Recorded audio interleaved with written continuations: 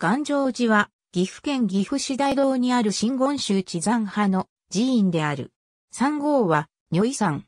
本尊は十一面観音。美濃三十三観音霊場第十六番札所。美濃四国札所十九番。天然記念物の中上美目星岩桜がある。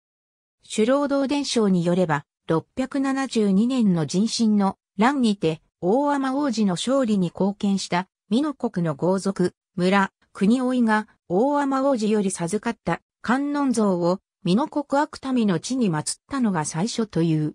この時、三観堂という御堂を建てたという。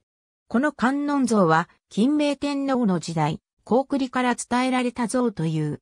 721年、大長により、大洞山清水寺に改称される。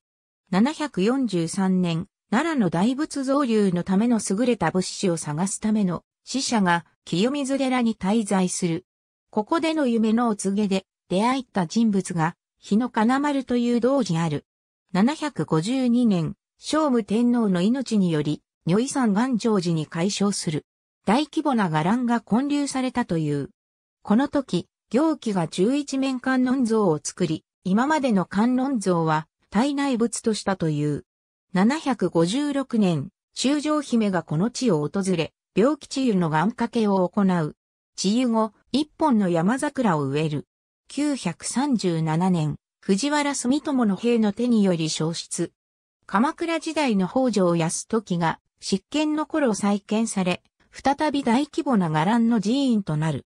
しかし、1567年、織田信長の稲葉山城攻めの際、斎藤達興の軍勢の一部が、岩城寺に立てこもったため、岩城寺は、信長軍により取り囲まれ全焼する。